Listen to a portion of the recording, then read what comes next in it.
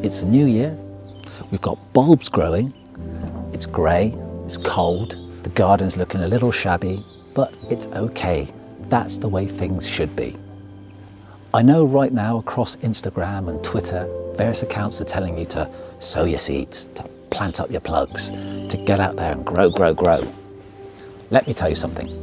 There is no rush. Just enjoy the garden for the next few weeks.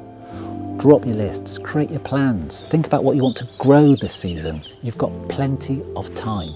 It's a low winter sun, so if you're going to be sowing and you don't have a good heat source, a good light source, then your plants will get leggy.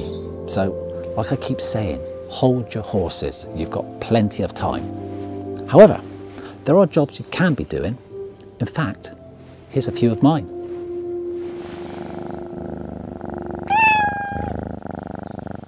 Winter's a time of dormancy for many fruit trees and shrubs, so think about pruning fruit.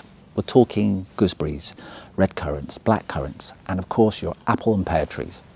But do avoid any stone fruit, things like cherries, plums, peaches and nectarines, because by giving them an open wound, you are inviting silver leaf disease, and no one wants that. Right, let's get started.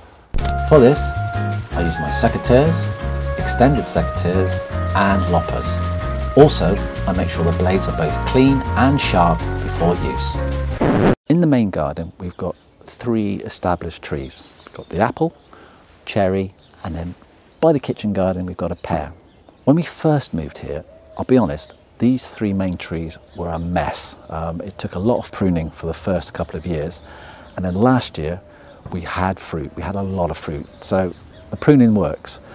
And with the apple tree, what I was trying to achieve is like a brandy glass look. And the reason for that is it lets a good supply of airflow pass through. And someone once said to me, you know a good sign of a prune tree is if you can take your cap and throw it through the tree. And if it doesn't touch any of the branches, you've got a winner. I don't know. With our pear tree, you're looking for a slightly different shape. You're looking at more of a, a wine glass. And again, that's all down to good pruning and it allows a good air supply to pass through. So if you can't remember how to prune, think booze.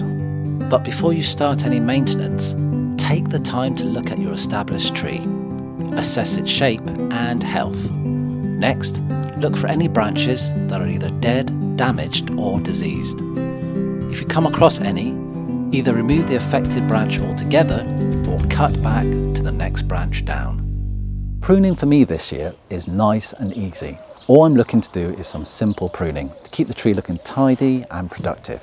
So what I'm looking for is last year's growth, which is from here to here.